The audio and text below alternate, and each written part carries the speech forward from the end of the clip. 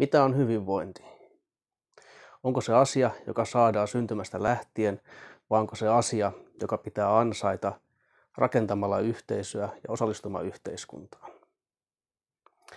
On selvää, että yhteiskunta joutuu valitsemaan, keitä se tukee, koska yhteiskunnalla on kuitenkin sen verran varoja, mitä ihmiset on sinne laittanut ja sitten miten paljon ihmiset pystyy laittamaan sinne.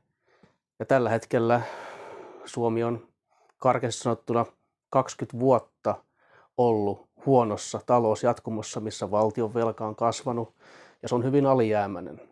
Ja jopa Euroopan unioni on asettanut meille jo suosituksia, miten tämä talous pitäisi korjata kuntoon. Esimerkiksi lakkauttamalla turhia energiatukia ja saamalla ihmiset ottamaan työpaikkoja vastaan – mutta sitten samaan aikaan parantamalla koulutusta. Tämä tilanne on hyvin vaikea voittaa, jos emme saada Suomesta taloudellisesti houkutelevaa kohdetta, koska maailmantilanne on nyt se, että turvallisuus- ja puolustusasiat ovat hyvin keskeisiä ja arkisia asioita kaikkien muiden kriisien ohella.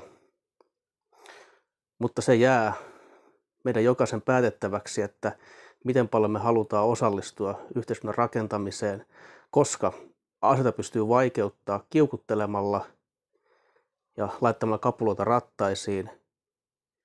Ja sitten myöskin se, että ei kuitenkaan rakenna Suomea eteenpäin, joka on meidän yhteinen koti.